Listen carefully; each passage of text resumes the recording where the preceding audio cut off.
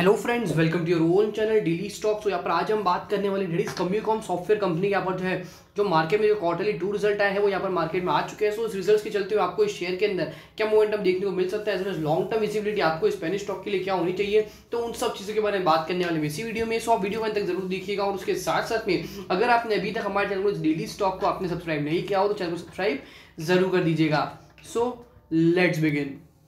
तो यहाँ पर सबसे जो कंपनी जो नतीजे यहाँ पर मैं साबित होते हुए देखने को जो कंपनी जो रेवेन्यू है यहाँ पर क्वार्टरली बेसिस पर कांस्टेंट देखने को यहाँ पर मिल रही है कंपनी जो रेवेन्यू स्टैंड करता है इलेवन करोड़ रुपीज़ पे और उसके साथ साथ में जो कंपनी जो प्रॉफिट है वो भी यहाँ पर हमें जो स्टेबल देखने को मिल रहा है डेट इज़ करोड़ रुपीज़ पर बट यहाँ पर जो कंपनी के ईयर ऑन ईयर नतीजे के ऊपर अगर हम यहाँ पर फोकस करते हैं तो यहाँ पर जो कंपनी के जो रेवेन्यू है वो यहाँ पर hundred and seventy five percent Y Y basis पर बढ़कर हो चुका है इलेवन करोड़ रुपीज़ और उसके अदर साइड पर यहाँ पर जो कंपनी ने पिछले साल जो है सिर्फ़ थर्टीन लाख रुपीज़ का यहाँ पर कंपनी ने प्रॉफिट जनरेट किया था, उसके मुकाबले अगर मैं अभी की बात करूँ तो यहाँ पर टू करोड़ रुपीज़ का जो है कंपनी ने एक अच्छा सा प्रॉफिट कमाया है। तो इसके देखते हुए लगता है कि पॉजिटिव रिज़ल्ट यहाँ पर हमें ज़रूर देखने को मिला बट फिर भी यहाँ पर जो है मार्केट में यहाँ पर स्पेनिश स्टॉक में यहाँ पर किस तरह का रिएक्शन देखने को मिला, वो मेरे थोड़ा बहुत इंपॉर्टेंट यहाँ पर हमें देखने को मिल सकता है मंडे सेशन के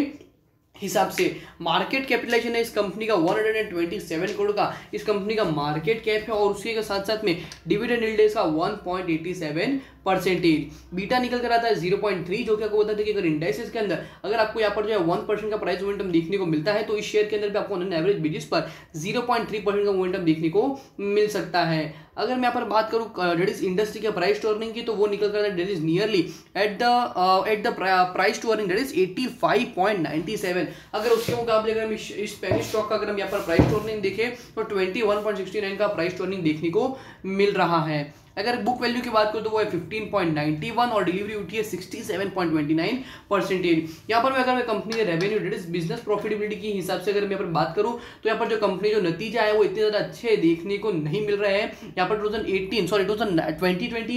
well twenty के अकॉर्डिंग अगर मैं यहाँ पर बात करूँ तो बट फिर भी हम यहाँ पर देख सकते हैं कि यहाँ पर जो है कंपनी जो है, अगले क्वार्टर में यहाँ पर किस तरह नतीजे दिखाती है तो वो भी मेरे आपसे काफ़ी इंपॉर्टेंट रहेंगे। अगर मैं ट्रेडिंग पॉइंट ऑफ़ व्यू से बात करूँ तो